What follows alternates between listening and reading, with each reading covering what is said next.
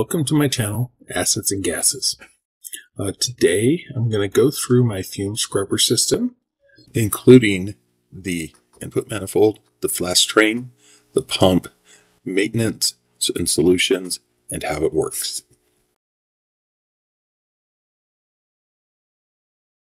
So the flask train starts here at the exit from the input manifold. Uh, the fumes are drawn out and they come down into these flasks. Each flask is packed with bioballs from aquariums and then solutions that the fumes then run through to scrub them. Each flask uh, has tubing connectors, both at the top here, which is fairly normal. We've all seen that, but also a tube connector at the bottom. So we have the top one, then we have the bottom one for our intake, top for our output.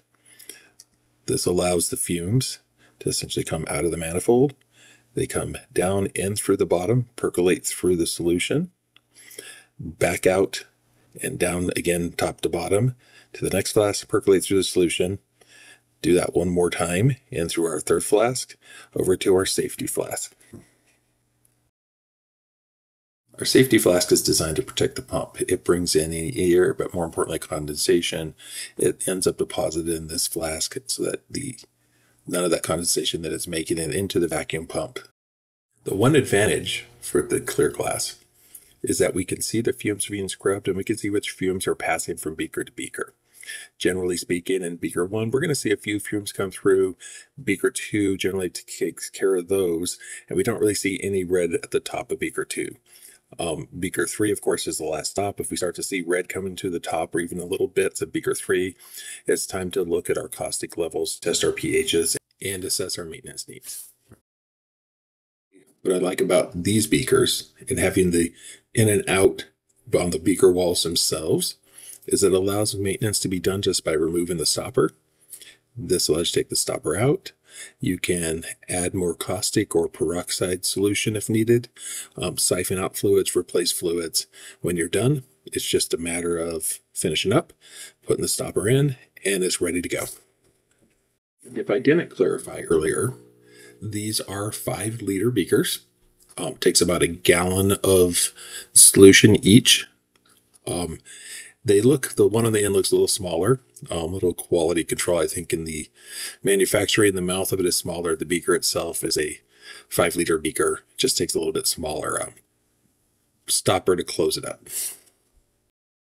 Finally, I want to talk a little bit about the bio balls that are packed in these. Discussed before, these are aquarium items. Here's an example of them here, a bucket I have of them. Just PVC balls are mostly air to allow a lot of solution in, but it gives a lot of surface area for that solution and the fumes to react on to effectively scrub. Second component of my scrubber is the vacuum. I use a vacuum pump versus a water pump. It's just a basic three and a half cubic foot per minute oil-based vacuum pump. The maintenance it really needs is just monitoring the oil as it discolors and gets a little more amber than you see here. Dump it out, put new oil, new oil in, and it chugs, been chugging along with proper maintenance without any real problems. Um, get everything hooked up, um, plug it in here, turn it on, see it bubbling, the air coming from the intake manifold through the flask train.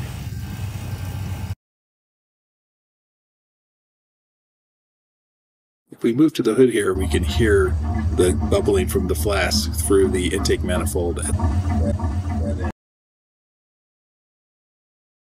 right, the final component of the scrubber is, of course, the intake manifold. This is where we are pulling the fumes in from the reaction vessel into the flask train. Um, as you can see, it is made of PVC. Um, we have a couple of intakes here. So if I bring in a reaction vessel, let me use this picture as an example. Essentially, it goes onto the hot plate, whatever. We put a bunch cover on it and make sure the spout is aligned with the uh, intake tube. Manifold itself made a three quarter inch PVC a couple of T's that provide our intakes, at the valve that separates them. Um, so this one, if we're doing two vessels, we'll have that valve open. Doing one vessel, always use this one and close that T just to improve the suction.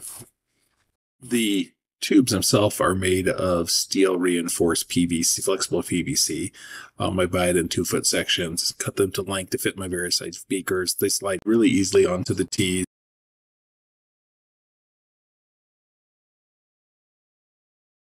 The last component of our scrubber is the master valve coming into it. I have this on the outside of the hood so I can turn it off without necessarily having to open the hood.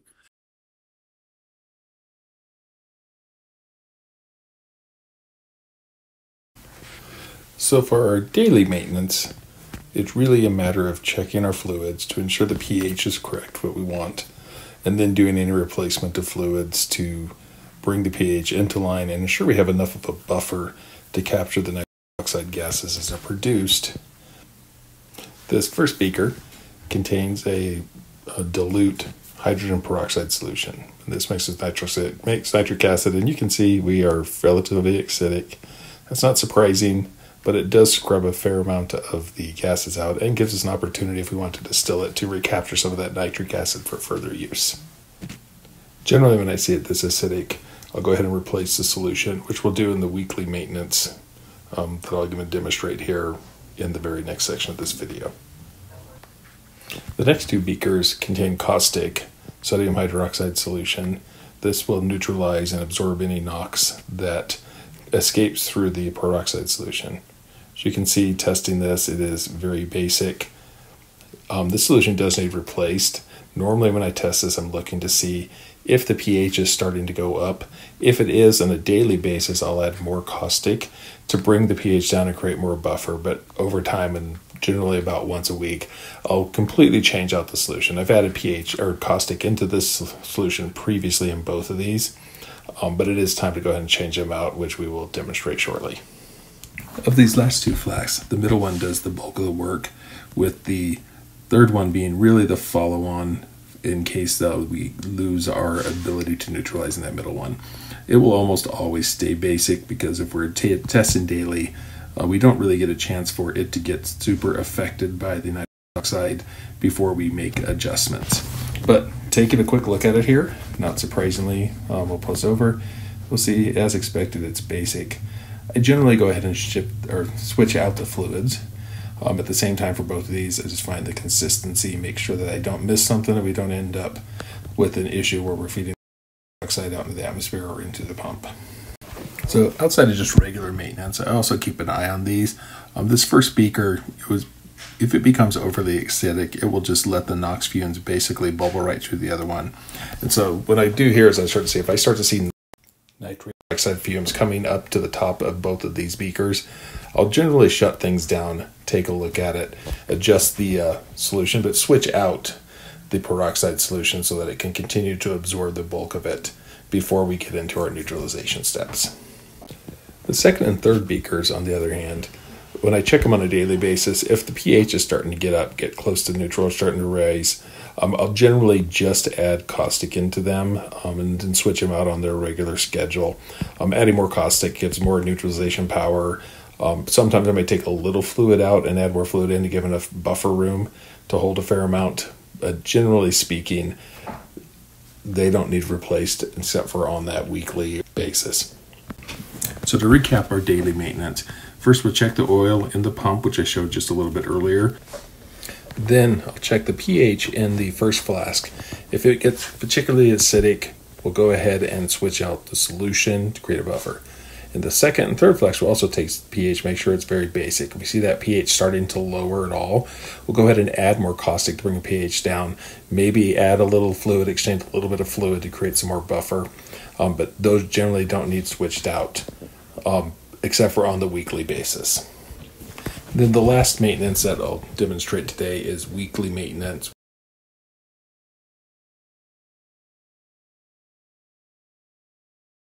So for weekly maintenance, it's pretty straightforward. We're going to change our fluids out.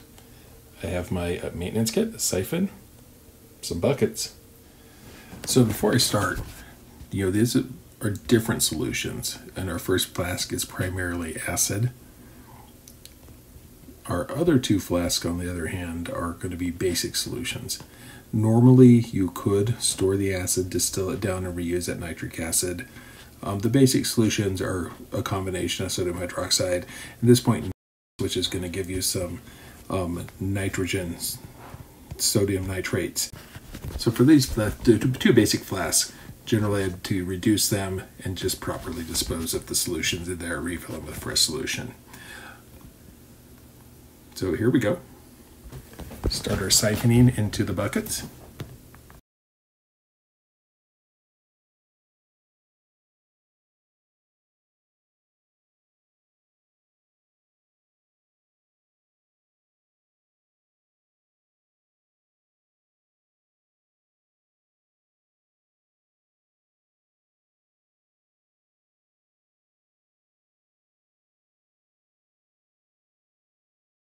Our siphoning is complete and we're ready to put our solution back in. Um, in this first one, we're going to put hydrogen peroxide. Again, I'm just using store-bought 3% hydrogen peroxide. I'll put the entire bottle in there and then top off distilled water. In the other two, we're going to put lye, sodium hydroxide. Uh, we're going to divide effectively the entire canister of granules between the two, but we'll start with our hydrogen peroxide first. We'll put the uh, full bottle in here. Then we'll top this off to about the five liter mark with distilled water.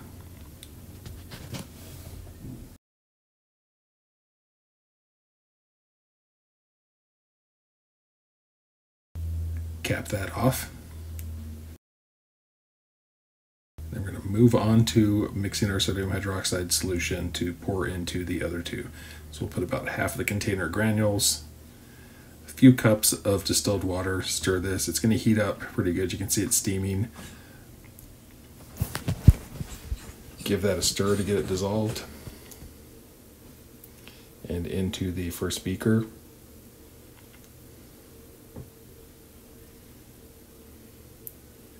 We'll go ahead and mix up the rest and put it into our second beaker.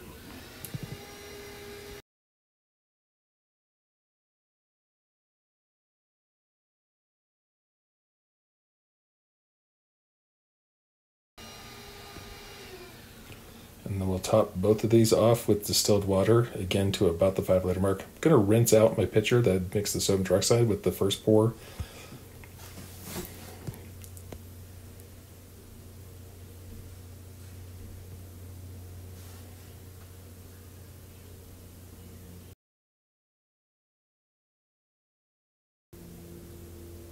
All right, so we're completely topped off, ready to go. So I've got the tubes all hooked back up. We'll turn on our pump. See it bubbling through nice. You're probably going to notice I did something a little bit different with the packing in here. Um, I'm trying a little bit of an experiment to see if I can improve the efficiency of my scrubber. At this point, that will end this video. I hope you enjoyed it. If you did, please like, subscribe, share. As always, comments are always welcome.